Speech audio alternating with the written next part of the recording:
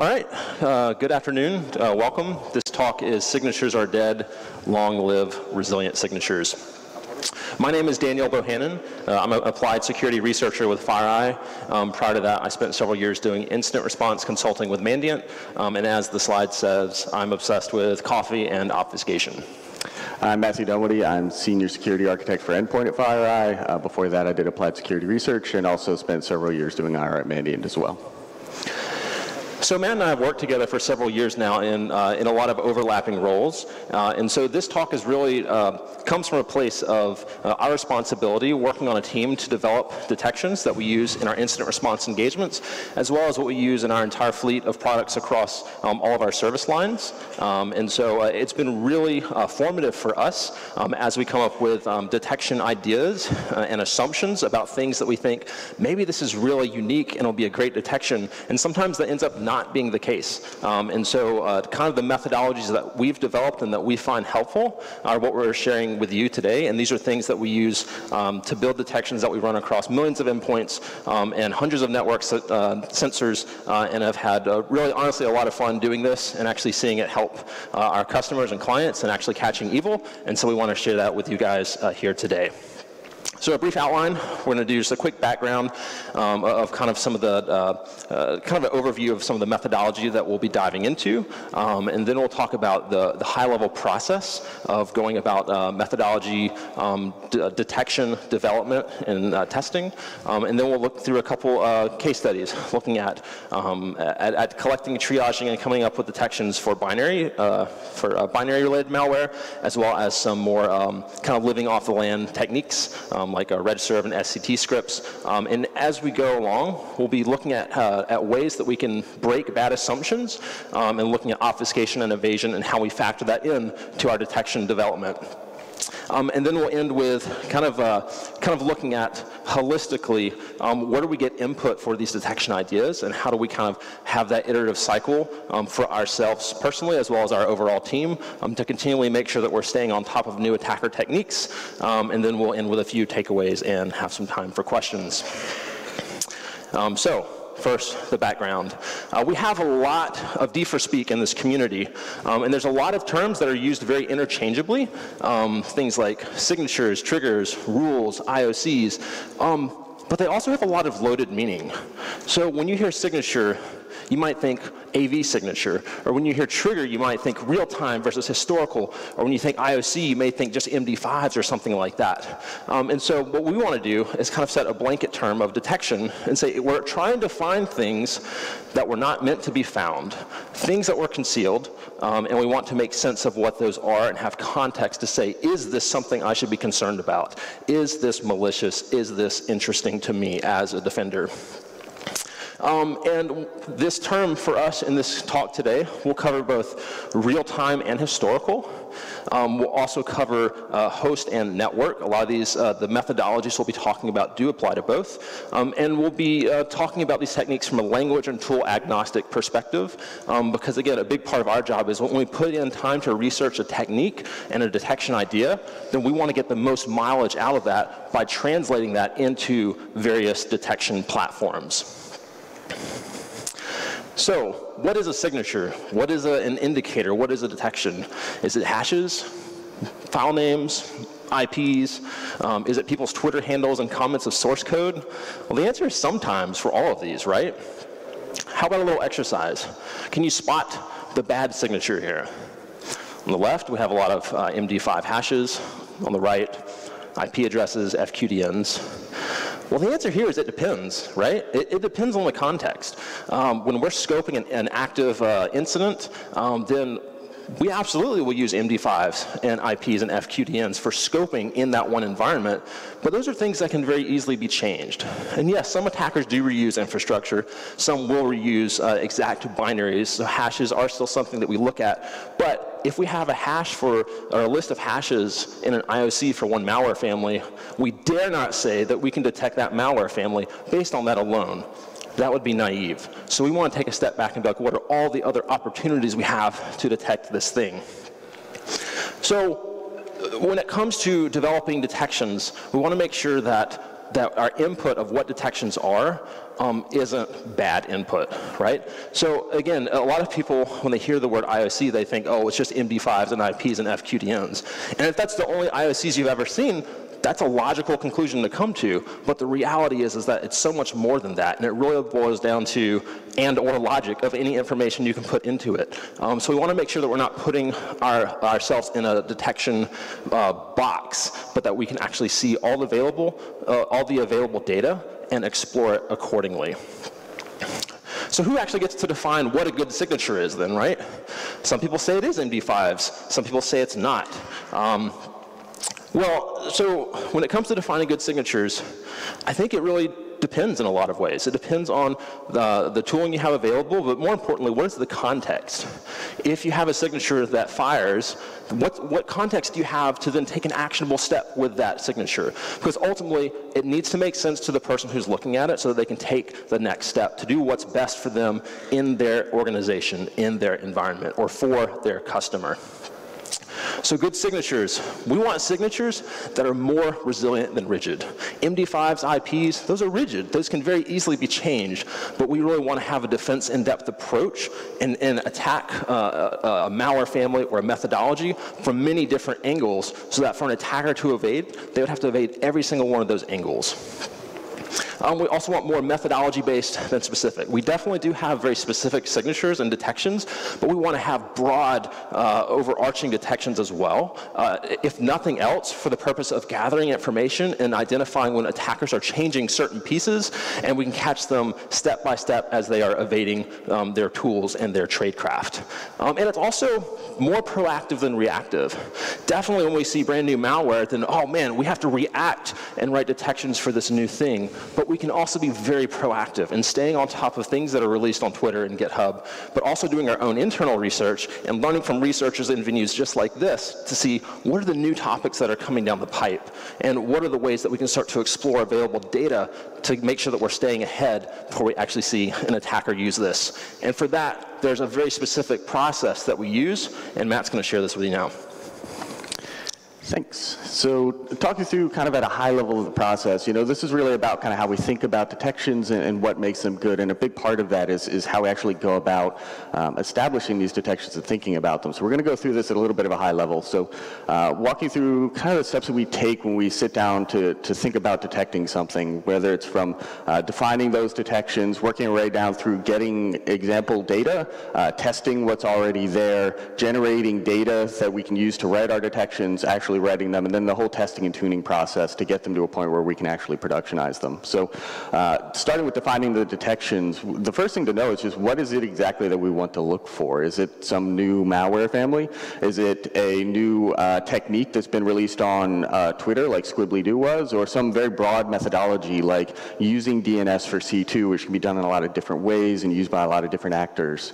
Uh, when to define it? Do we want it in, in real time? Do we want this to be more of a historic thing, kind of scanning versus uh, more dynamic? Uh, where do we want to find it? Do we want to, you know, on the endpoints, in the network, in our SIEM, in the sandbox, maybe preferably all of the above?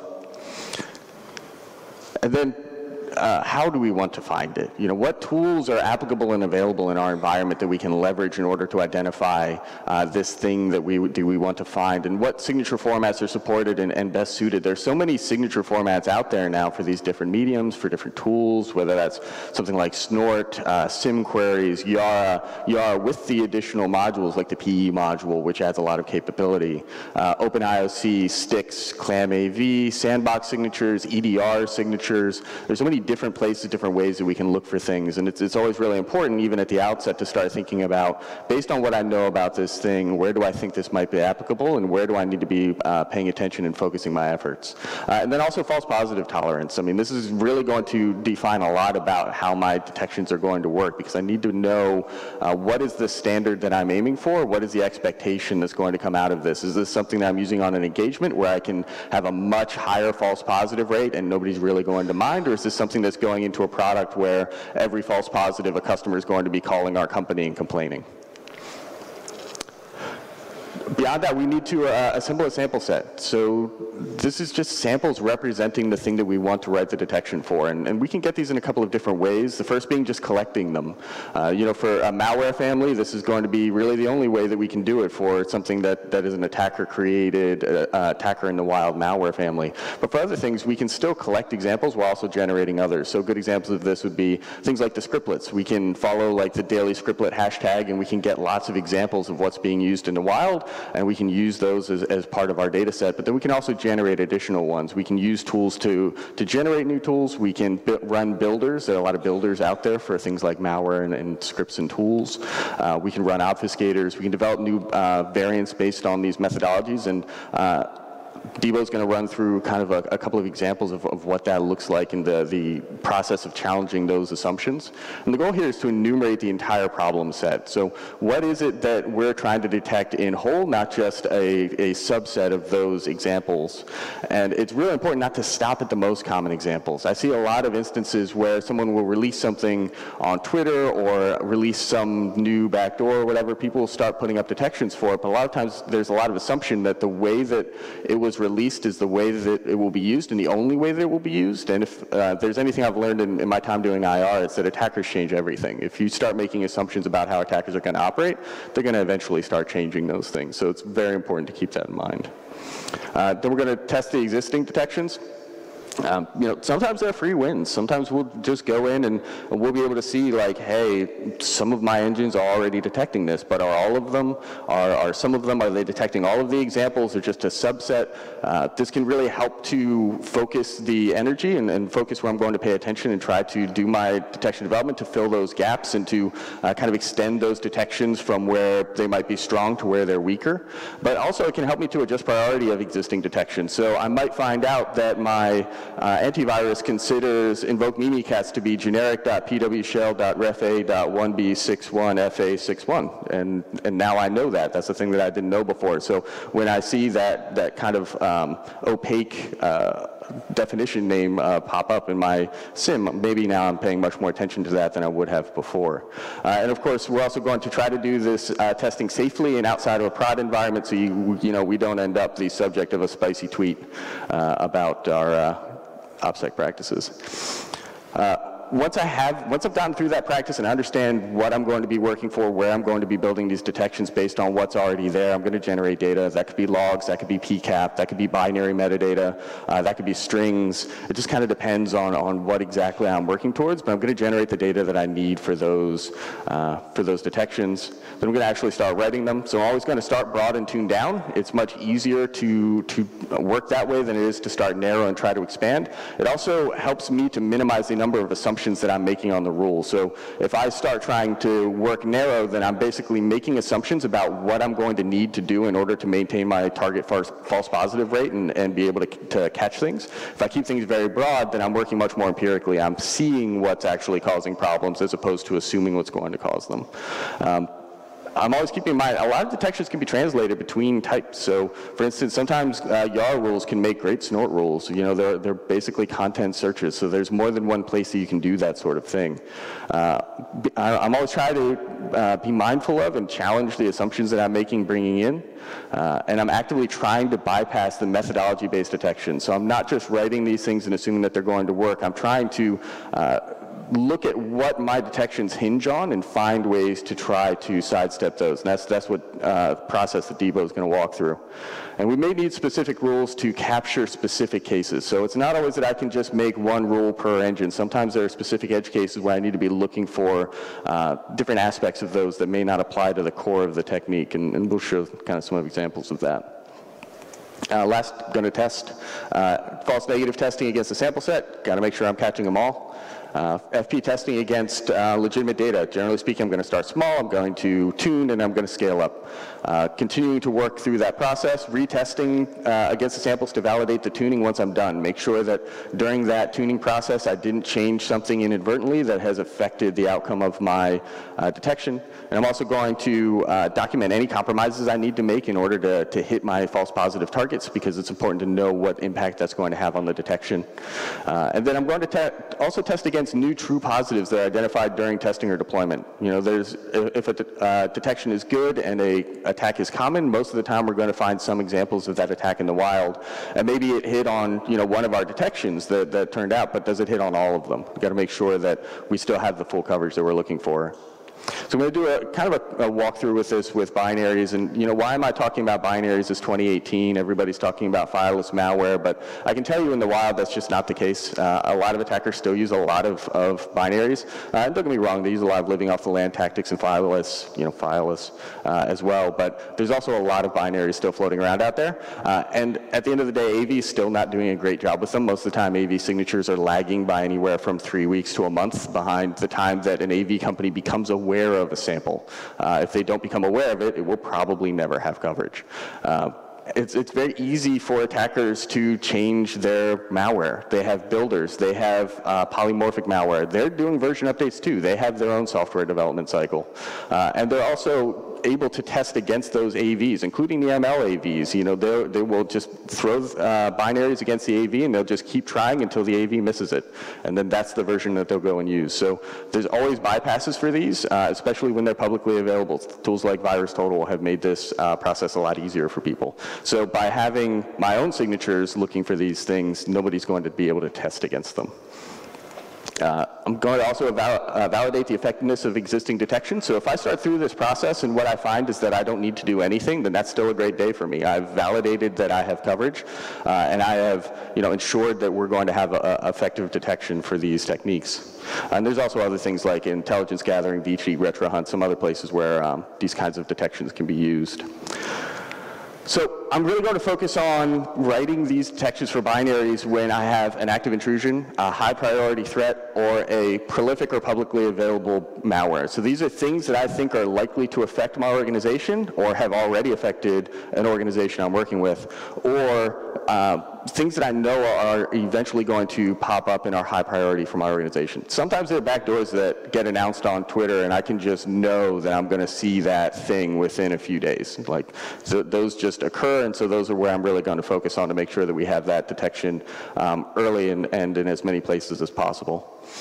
Uh, and uh, also that we need additional context beyond it's bad. Uh, you know, ML is, is great at doing malware detection, but it's not great at giving a lot of context. So one of the things that can be really handy is if you have uh, additional detection capabilities for malware that you're particularly concerned about, being able to get that additional context that, oh, hey, not only is this thing bad according to the ML, but it is in fact APT28, then that gives me a whole lot more context than, hey, this is probably a coin miner. So an example of uh, defined detection here, you know, maybe I want to find all chopstick malware variants, just all of them, all, all, the variants that have occurred, all the generations. Uh, I want to find them on the endpoint network and sandbox, historical in real time, and I'm going to do that using Yara plus uh, the PE module, uh, OpenIOC, Snort, my SIEM, my EDR, and uh, have uh, some false positive tolerance, we'll call it moderate. So the, the, next step is going to be to go out and actually find these sample sets. And uh, I have the good fortune of working at a company that has an incredible amount of malware and intelligence, and so it is comparatively easy for me to actually collect up all of this data. But even without that, there's still a lot of other things, and I will still validate that we've gotten all of the good open source intelligence that's uh, applicable uh, to whatever threat I'm looking at. So there's a lot of ways that we can do that. So we can collect hashes from high confidence uh, sources. So you know, threat intel feeds, blogs, public malware uh, repos, malware analysis reports. In my opinion, the reason that we give out hashes in our reports isn't so that you can go and look for those hashes, it's so that you can go and find that malware and then develop better detections based on that malware. Uh, so being able to go out and find those and get those samples in uh, is going to allow me to start to build out that sample set. And this is one of the places where MITRE ATT&CK can be really helpful is that you can find for some of the more common and well-known malware families, you can start getting into like the references to those pages, and you can start getting to the reports really quickly uh, and, and, get a, a good reference uh, base started. Uh, I'll also try to find things on, on VTI and, and also using uh, some of the implant builders. It is definitely possible to get your hands on builders for some of these malwares if you want to, and that can be very uh, valuable. For public malware, I'm going to generate representative samples. So I'm going to use multiple versions. If updates are available, go back through that uh, Git history and, and, pull down some of the old versions and see what those look like. I'm going to generate variants for the significant options in a build. And this is basically things that are going to change the structure, behavior, or network comms of a piece of malware. So uh, for example, if I'm going to try to detect Cobalt Strike, I want to make sure that I'm looking very closely at things like the malleable profiles so that I can see what the different command and control is going to look like for all the default profiles as well as uh, for custom ones. Uh, and then I'm going to use common packers and obfuscators because if there's a public piece of malware out there and somebody's compiling it, somebody's going to throw it through some of the more common packers. And so if, if my entire detection is based off the assumption that nobody's going to do that, I'm not going to have a good day. Uh, then I'm going to test my existing detections, run PCAP through IDS, run the uh, binaries through the scanning engines, uh, test for the real-time and dynamic alerts, run in sandbox, and I'm going to see what comes out of that. What alerts have I generated? What data was generated as a result of that? You know, am I even generating the kind of data that I need in order to develop a detection, or is this kind of a, a, a dead end? And then I'm going to figure out, like, stop here or continue. Do I need to develop all of the detections I plan? Do I need to only develop a fraction of them? And kind of keep working from there. Uh, I'm going to collect, uh, generate my actual data from this. I'm going to collect dynamic execution reports. This might be from sandboxes. There's online sandboxes. There's vendor sandboxes. There's Cuckoo and different open source tools, uh, malware reports and blogs. These different sources. Uh, I'm going to grab some PCAP captures. I'm going to try to get some process memory and strings out of those. Uh, I'm going to parse binaries using tools. So things like PE Explorer, CFF Explorer, SIGCheck, Floss, which is a great tool, which uh, not only grabs strings, but also stack strings, which can be really valuable if you're doing memory-based detection, uh, and any kind of vendor analysis engine that I have. Ideally, what I want is to be able to get the exact output that I'm going to be using to match against. So if I can get the same data in the same format that I need to write the uh, tool, the detections against, that's going to give me uh, the highest fidelity when I'm going through and trying to work with actually developing the uh, detection. Then I'm going to go through and kind of group samples a little bit. Uh, a lot of times, especially with some of these malware families that are more prolific, have been around for a long time, you're going to have um, some differences between them. So you can't always put them into uh, a single detection rules, so I'll, I'll, break those up. I'll also look for outliers. Even when working with like high confidence sources, there's always a decent chance that something's going to end up in there that shouldn't be in there. So going through and just looking for those outliers and kicking them out before um, before I get too far down the road. Uh, then I'm going to focus on writing my detections. So there's a lot of different aspects of binaries that are useful beyond things like hashes. So there's the probably most common ones like strings and hex strings, which you're going to use for typical Yara rules. But then there's a lot of other aspects of files and binaries that you can use, especially with things like the PE module in Yara or something like OpenIOC. So you can start looking at things like the authenticode signatures. Does have a bad signature? Uh, imports and exports. Uh, import hashing is great, but uh, I've actually seen attackers that appear to be changing import hash as part of their builder. So they actually seem to add and remove imports imports just to mess with the import hash. So um, not always something you can 100% rely on. It can be better to actually look at the specific imports.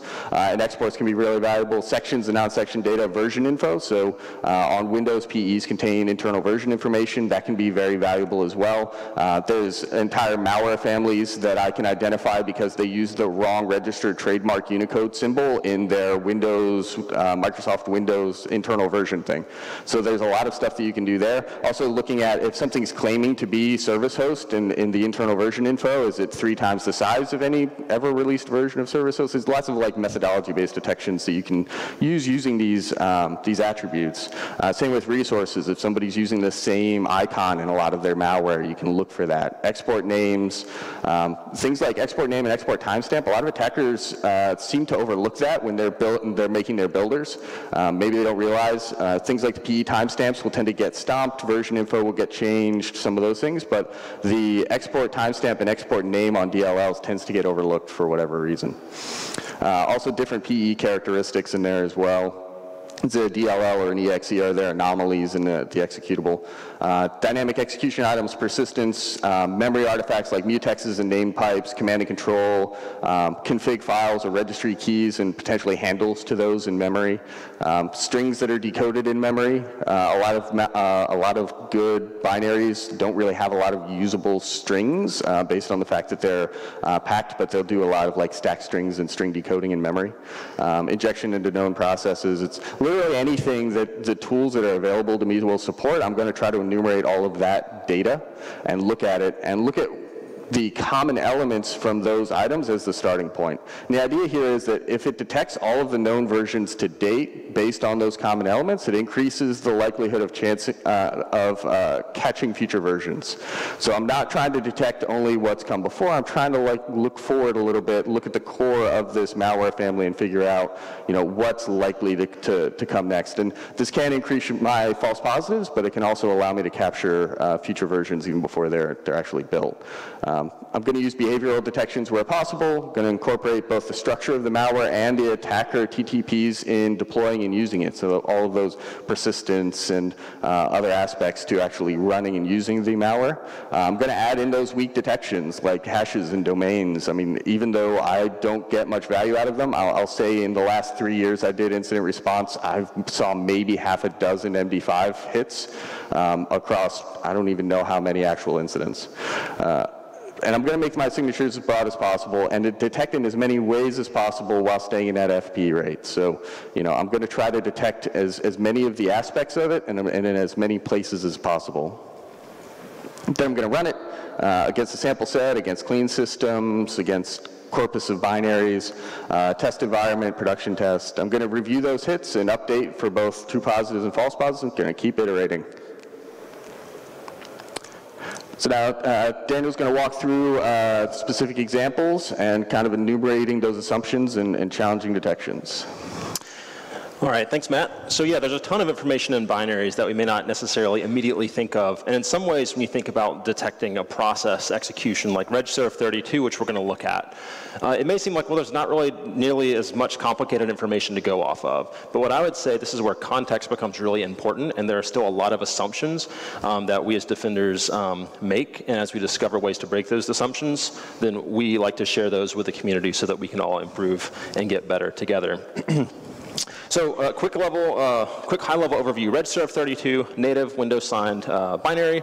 Um, it, it's a, really awesome um, app whitelisting bypass discovered by Casey Smith or subTee back in 2016. Um, I remember the day that he tweeted it out. I was still drinking my morning coffee, uh, wrote a network detection for it, and before lunchtime we were already seeing it being used. Happened really fast, and really good attackers really like Casey Smith and Matt Nelson and other people on Twitter, so when certain people tweet, you gotta listen up and look for it quickly because we see attackers hackers adopting them very, very quickly.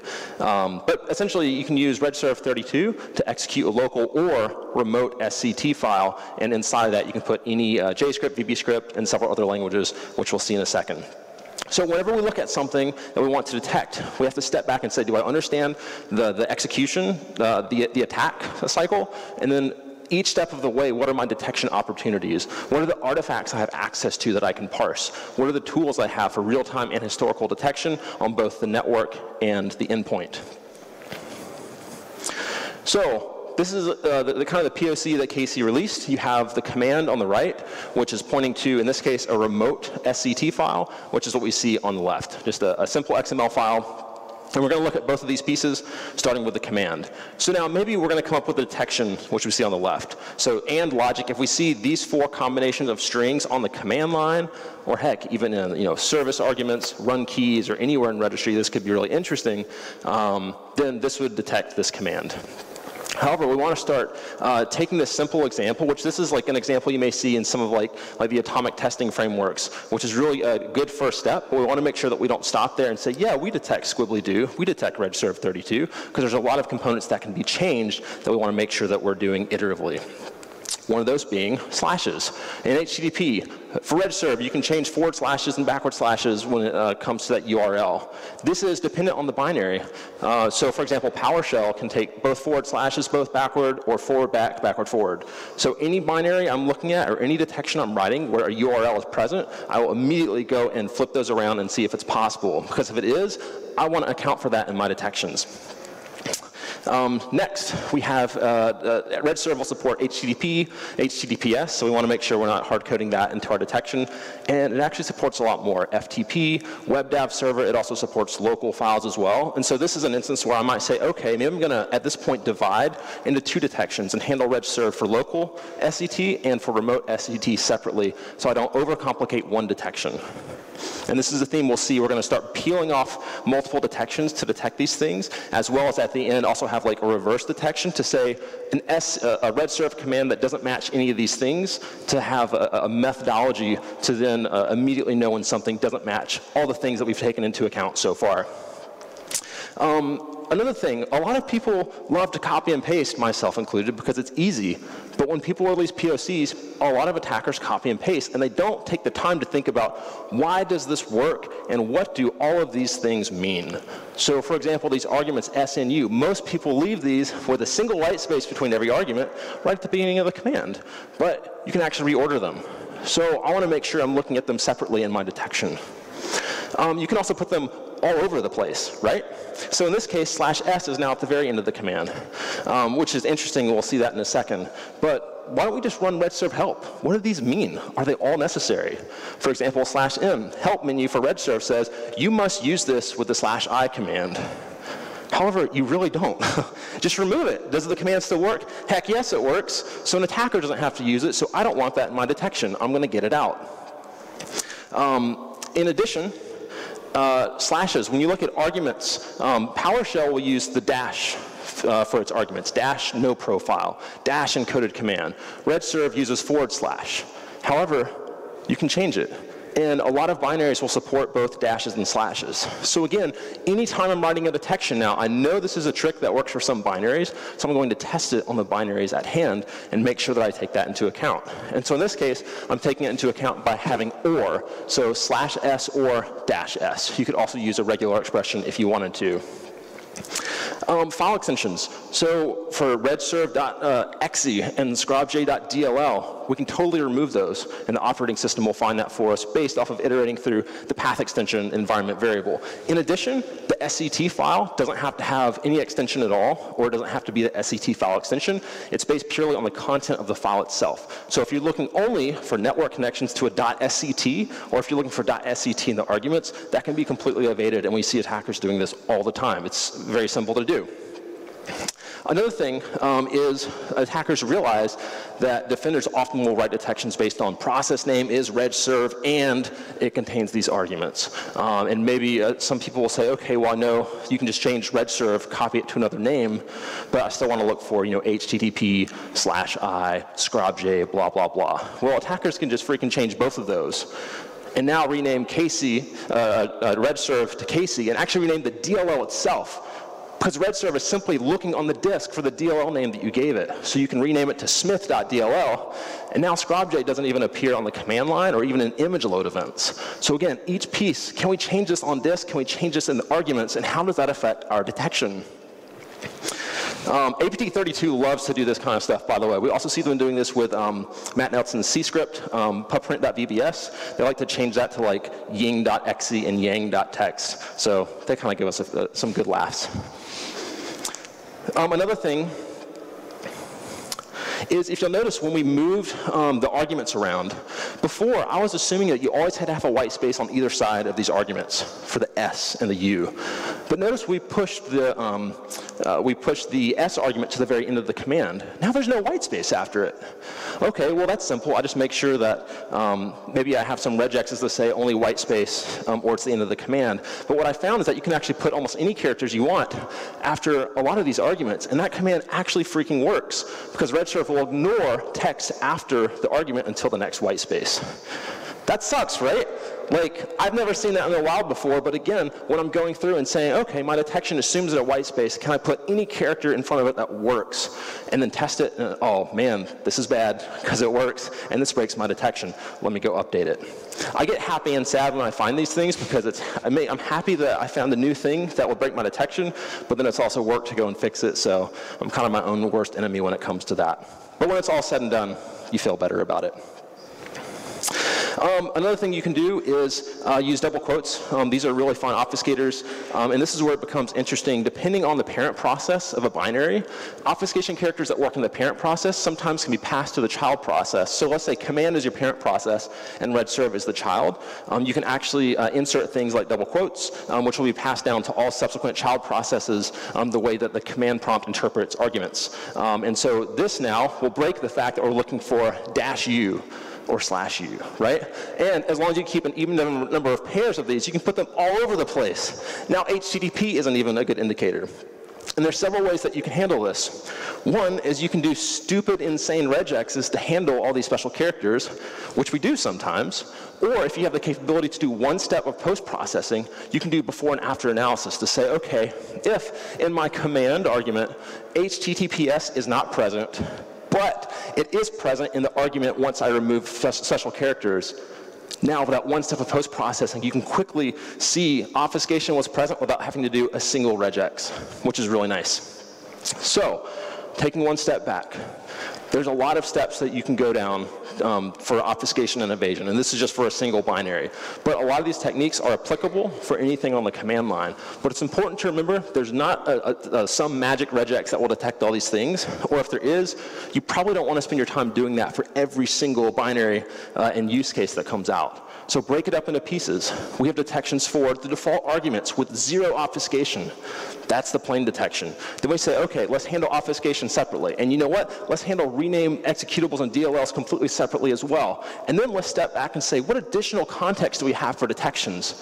What about Regsvr making these network connections to non-RFC 1918 addresses? Or what about the image load events that happen?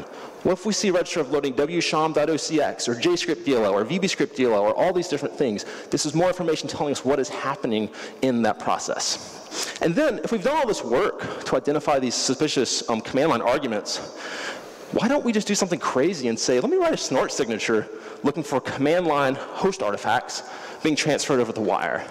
Which sounds crazy, but you will find some amazing stuff doing this, like SCCM service results being passed over a network where it contains a malicious command, or commands being passed over SMB, or WMI process call create. There's some insanely cool things that happen when you take a high fidelity command argument detection and put it in a network detection with wide open constraints. I don't care what port, I don't care what source or dest. If I see this string, I want to investigate what it is and the context in which I find it. And we find a lot of cool uh, attack techniques based off of finding a known bad thing inside of a wrapper where it's like, whoa, what is this? I, I didn't even know this was possible. Let me investigate now. So, first part was regsvr.exe, but what about detection opportunities for the SCT file? Um, and so again, if we're assuming that this is being hosted remotely, which in most cases it is, so we're gonna look at it mainly from a network perspective, but as before, we wanna look at this and say, how can I better understand this SCT file? Because most attackers are gonna copy and paste. So the first thing that I do for stuff like this is I say, what's common? What is there by default? And if I gather as many samples as I can, as Dunwoody uh, was saying, uh, building a, a corpus, a data set, one of the most common strings I see because attackers likely aren't taking the time to figure out what's necessary or what can be changed. So what's highlighted in green are the most common things we see. Um, but then what I want to ask is, what's actually required? So I go through and piece by piece start removing things to see does this still work.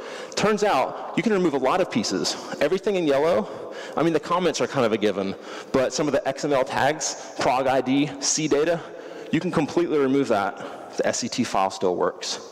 So now, I definitely have some detections based on some of those pieces that are removable, but those are the most basic, simple default detections, and I immediately move on to more detections to find like the minimal viable product, if you will, of an SCT file. Next, of the stuff that's here, what can I change? One of the things you might look at is, okay, double quotes and single quotes. We can change those. Those are interchangeable, so I should take that into account.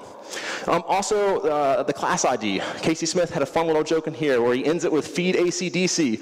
You would not believe how many people don't change this, and they assume that it's some you know, special uh, you know, class ID that has to stay the same. A lot of people, even some like semi-sufficient or sophisticated attackers will still leave this. So we definitely look for that as a, hey, here's someone who's copy-paste. I want to know when I see feed ACDC. But technically, you can change that um, to anything as long as it's still a valid class ID. So you can change it to something more like that. Um, also, scriptlet tags. This is an SCT file, right? So it must have scriptlet tags, surely. Uh, however, there are other things you can use, like the component tags. And again, this comes down to what's the, what is the minimum required tags required for an SCT file? And I want to make sure I'm using that as my anchor and then looking for everything else. So let's say maybe our anchor is the registration tag, and we assume that a scriptlet tag is always required. We can then write a detection looking for things with scriptlet tags, or things with registration tags that do not contain a scriptlet tag. And then the first time we see a sample like this being used in the wild or uploaded to VirusTotal, we'll see it and immediately say, wow, someone came up with a cool evasion using component tags. I didn't even know that was possible. And so again, this is one of those kind of reverse detections where we have these really broad detections that we use for collecting new ways attackers are evading certain pieces that we assumed were uh, required, but actually weren't. Another thing, for the script language, that can be defined as JScript, uh, and it typically is defined by JScript since, again, that was Casey's example. But you can also use VBScript as well as, and we don't see this often at all, but it's really cool, JScript.encode and VBScript.encode. And if those are used, you're going to have this nice encoded uh, blob inside of the script tags, but it will always start and end with the portions highlighted in green. So now this is very interesting for me because, hey, I wonder how often I would see those two green tags showing up uh, even on the process command line, but what about shoved in registry somewhere, or again, written, uh, being passed over the wire uh, via a snort signature, or even on disk as a YARA rule. In addition, you could just uh, not describe language at all, and JScript is just automatically assumed. So that's convenient. So we don't even have to do that as an attacker. We could also add white space before any um, ending uh, tag in XML, and that works perfectly fine. You can also add it on either side of equal signs when you're setting properties. And then remember what's inside the script tag. You then have XML level obfuscation, which is what we have here, but then you also have language specific obfuscation um, inside of that. And so we definitely do write detections based on the content itself, regardless of if it's wrapped up in an SCT file or maybe an HTA file or some other COM scriptlet. Um, but again, a lot of detections I see are written based on ActiveX object open parenthesis or dot run open parenthesis, but you can put white space between all those in JScript. And in a lot of languages, um, even including later versions of PowerShell, you can introduce really weird white space and it still interprets correctly. But again, we don't know until we try. And we do a lot of this with some fuzzers that we've written, but a lot of times it comes down to just manually poking and kind of walking through a list of, I've seen this work over here, I wonder if it works in this case, and then trying it iteratively, just like we're doing here. In addition, you can just remove new lines because XML parses nicely. So this is still a valid SCT file that will pop calc, um, just like the original POC. So We've done all this work now. We've gone through all these iterations. We know more about what's required, what's the minimal viable SCT file. Now we want to put that logic to work in as many places as we can. So we'll look for that network detections, but we won't re restrict any ports. We think we're only going to see it being downloaded for HTTP, but lo and behold, since we left it open, there's an attacker pushing it over SMB to another system. They already have internal access and are moving laterally, pushing SCT files. So again, depending on the tightness of the detection, I prefer to leave it open to look as many places as I possibly can. And you can also convert this logic from a snort signature into a YARA rule and do things like scan the um, temporary internet files or INET cache, because even though regserved is fileless, uh, the operating system will freaking download your SCT file and store it in temporary internet files for performance, for caching. So a lot of attackers don't know that, and so we like to look in those places for these SCT files. And in addition, if we already have that converted into YARA, we'll also search things like VirusTotal um, or other sources to look for other uh, SCT files that are being uploaded to get more information on how attackers are evading and changing their payloads. So once again, there is no magic regex. And if there was, it's very inefficient to do so, so we break it into many different detections. What's the default case? How do we handle obfuscation? Uh, do we put this on the endpoint or the network, or both? And how do we go through iterative approaches? And after we've come up with as many known things as we can, let's add one in the front that looks backwards and says, SCT file, that's none of these other things, and that is a feed that we continually look at to say, wow, something new is happening here. What is this cool evasion technique this attacker used? Um, and this is really the kind of approach that we take every day when it comes to these kinds of detections, both for developing in real time and historical. And again, once we've sunk the time into the detection uh, methodology, we want to translate it to as many languages and detection platforms as we possibly can so that we can get the most benefit out of it. Cool. So I'm going to talk a little bit about uh, where we get ideas for some of these things and how some of these things fit together. So uh, I, if you're paying attention and you've done hunting before, you might notice that there's some similarities between the methodologies that we're using for our detection development and for hunting. You're, you're forming a hypothesis, you're gathering data, you're walking through this process.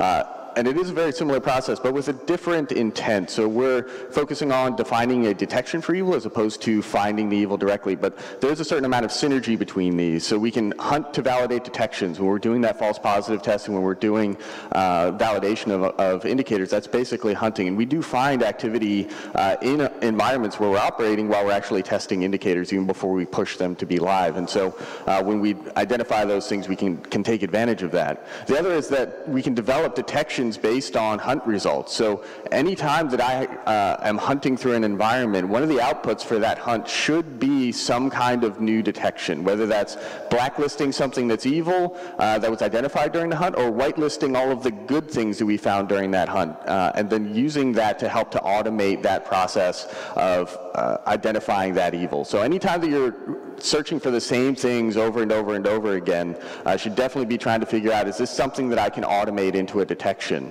Uh, another great uh, connection between these is that detections that never quite get to the point where they hit that FP target, where they're just a little bit too noisy, hunting is a great place to then apply those techniques because hunting is generally going to have a much higher tolerance for those false positives. It is more about data collection than specific uh, item identification. So that is one place where you can still leverage those uh, detections even if they never went into like a live production situation.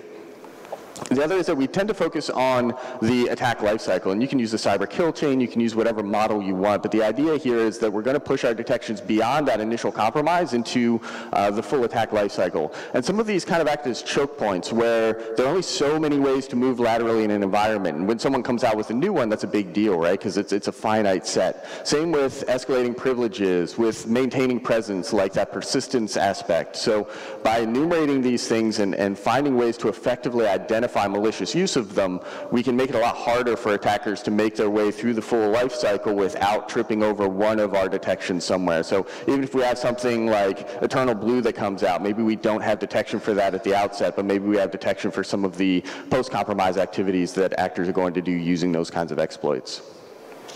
We're also going to look at what's coming out of our active and historic uh, uh, attacker activity from our incident response investigations. And this is really valuable and something that we get a certain amount of unique benefit here from just where we work. But there's a lot of this information that is being published out there. There's a lot of blogs coming out on both attacker TTPs, their specific tools. Um, all this data is getting published every day. So there is a lot out there to keep an eye on. Uh, analyzing malware samples, again, there's a lot of malware out there that you can get your hands on if you really want to look for, whether it's posted up on GitHub or some of these other repos and resources. Um, Intel, so this needs to be that the kind of actionable intel that you can really utilize as opposed to um, you know the, the, kind of higher level or the threat feeds for this specific purpose.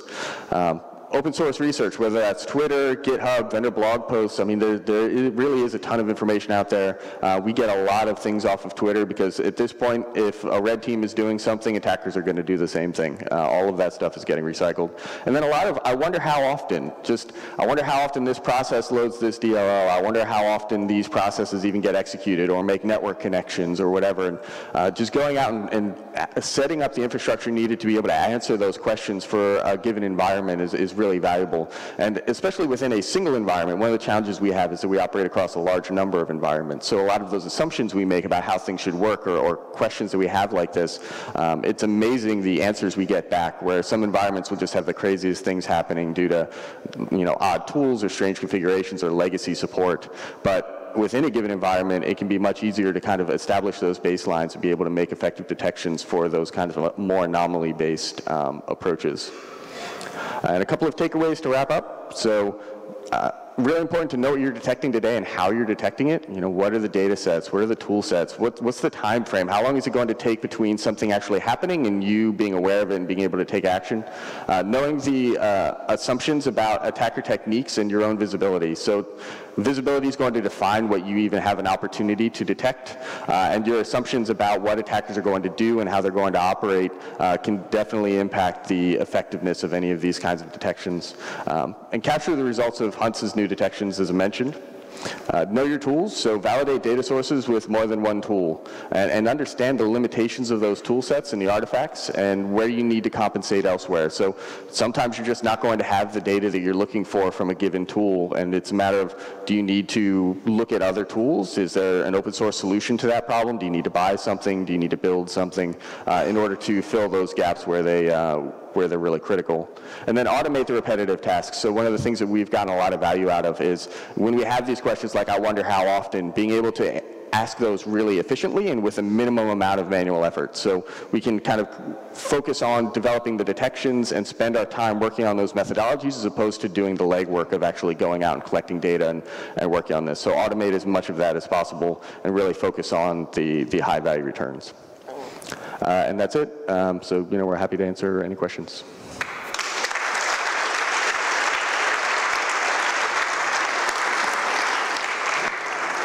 Okay, thank you, Matthew and Daniel. Um, do we have questions um, in the audience? Back there, one second.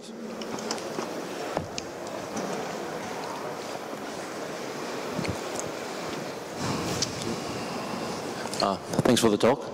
Uh, so uh, how often you say, guys, is that you find uh, a new obfuscation technique or something new that you find uh, it can bypass your techniques and say, oh, there's something new that we found, we're going to apply it on our rules and systems, and then you see that someone else out there is already using it, and you're like, oh.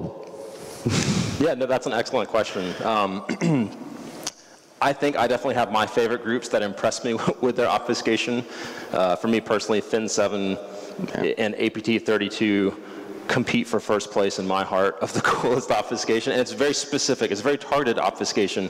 Um, and, uh, and yeah, again, since we have uh, as best we possibly can, uh, many layers of detection. We'll see Fin7 throw a crazy trick out. It's like, whoa, that bypassed a lot of our detections, but we still caught it based on this new anchor. But it, it bypassed enough detections for us to say, we need to go and revisit and see how can we make this better. Um, the stuff that we see Fin7 doing, I don't know that we've necessarily immediately seen other groups doing it, but it definitely will, it, it will, it'll trigger ideas for our own research. Like for example, Fin7 um, last June um, did a really in my opinion, sexy obfuscation technique with command.exe where it was a character uh, substitution technique using a variable name, colon, string equals another string. And they were doing that. It was, it was the coolest thing. I didn't even know command could do that. And it got me so excited that I spent the next nine months researching command.exe obfuscation. Um, and that's what all the DOSfuscation research is from. So from that research, as I started to then look for the techniques that I was uncovering, we did see some of those being used like in like different like obfuscated um, batch file payload generators. Um, but most of, most of that research we really didn't see being used until, um, weirdly, a tool was released to do that stuff. But, um, but yeah, I, I, think there definitely are some cases, maybe for less interesting obfuscation, where we do kind of see one person use it and realize, oh, maybe this is coming from like a, a publicly available builder or something like that. So a lot of times we'll also, you know, search GitHub, Pastebin, and other places to try to find this technique or this uh, uh, syntax and maybe actually find the builder that it came from and realize, hey, maybe this is more common than we realized, but we just caught it this one time. We need to go back and kind of retro hunt through our data and see what else um, might be there.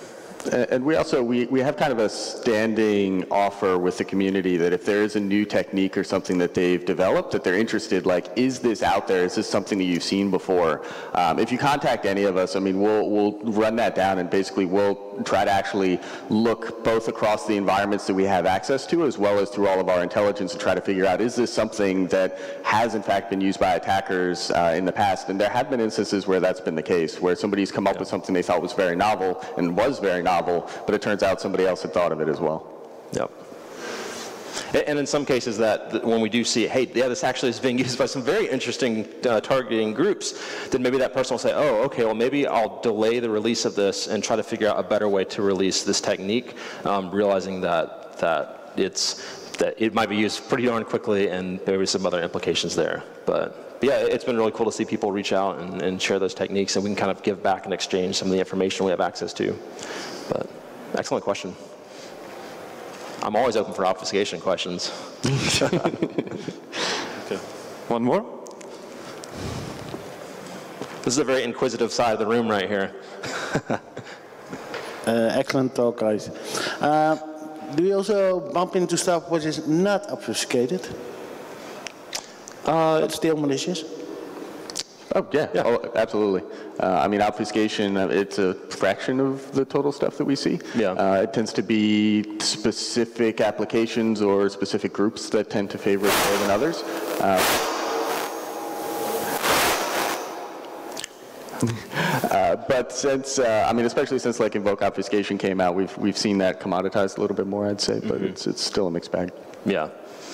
Yeah, and again, for us, we, we also, there's the non-obfuscated stuff, there's the super obfuscated, like push-button payload stuff, but then we also tend to focus a lot on the middle of very tasteful obfuscation, which again, like Fin7 and APT32 are really good at, because that, that tells us this wasn't just a script kiddie hitting a button. This was someone who very specifically looked at a, uh, at a, a command and then said, I see that all the detections out there are detecting based off of these things in this order. I'm going to change that. There's, I forget who, someone tweeted just two or three days ago about the certutil um, uh, downloader syntax that, strange enough, also Casey Smith found, where you can basically have certutil download payloads using certutil dash uh, URL cache dash split. And they said, hey, Defender detects on this, but if I literally just swap those, it doesn't. Um, and, and so again, like looking for very specific things like that is, is quite interesting for us as well. Yeah, that's always going to be the best obfuscation because if you if you hammer it, it becomes very obvious that Yeah. this is something that somebody didn't want you to, to look at too closely. But if it's something that's a lot more discreet, it can get past like the obfuscation detection type things. It can like be a lot harder to, to pick out as, as like very loudly malicious. And, and there actually is one project that I know of based on like this minimal obfuscation technique for PowerShell at least. So Ryan Cobb, uh, who now works at SpecterOps, um, last year, actually almost a year ago, um, to the day, he released a tool called uh, PS AMSI or PS AMSI for the anti-malware scan interface. And basically it takes PowerShell obfuscation and then applies it very selectively. It basically breaks out the whole script and given an a, a certain AV signature that uses AMSI to detect this script as malicious, it says only break out the whole script into the whole tree and find only the components that are triggering the alert and then obfuscate just those components. It's really cool because now the whole script is like barely obfuscated, but it's obfuscated in every freaking right place depending on that signature. So there's some really cool uh, work in the community for that sort of thing. Um, but it just means that we kind of shift and say, all right, well, how can we, um, how can we write detections based on individual components of this abstract syntax tree? And it, it, it's a really fun cat and mouse game. Well, fun is relative, I, I suppose, but, um, but yeah, there's definitely some cool work in that area. But awesome question. Cool. We're between you guys and lunch, so, uh, so thank you again for your time. And if you have any questions, we'd love to chat and say hello outside. But thank you very much.